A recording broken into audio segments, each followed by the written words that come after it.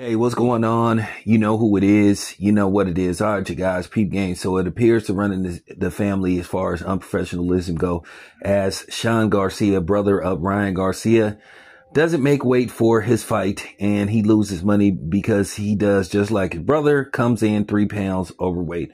You know, at the end of the day, the Garcias are just setting such a bad trend in boxing where no accountability, going into these events unprofessional and unprepared. And you have people that just condone this type of behavior, think everything is a damn joke, and think everything is something to make a joke out of.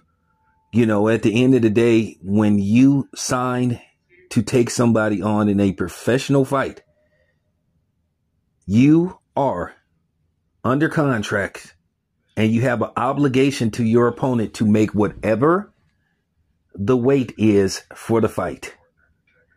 And the way that the Garcia seemed to just be nonchalant about being unprofessional and not making weight for fights. Now, keep in mind, I've, I've criticized people for not making weight on several different occasions, but now it just seemed to be this pattern that's going on with the Garcias. They just seem to be lawless and they don't respect the game.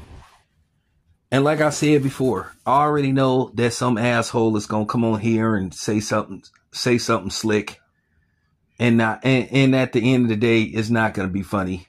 It just goes to show you like where we are as just a whole, as just a group, the human race, where this new generation they don't respect nothing they feel like they are entitled. It's all about them and the hell with anybody else.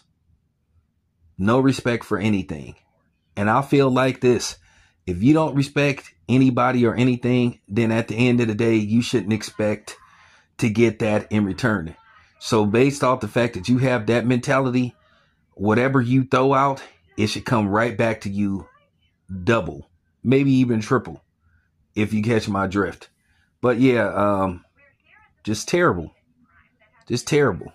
And you know, Fernando Vargas talked about it, and it just it's just not a good look.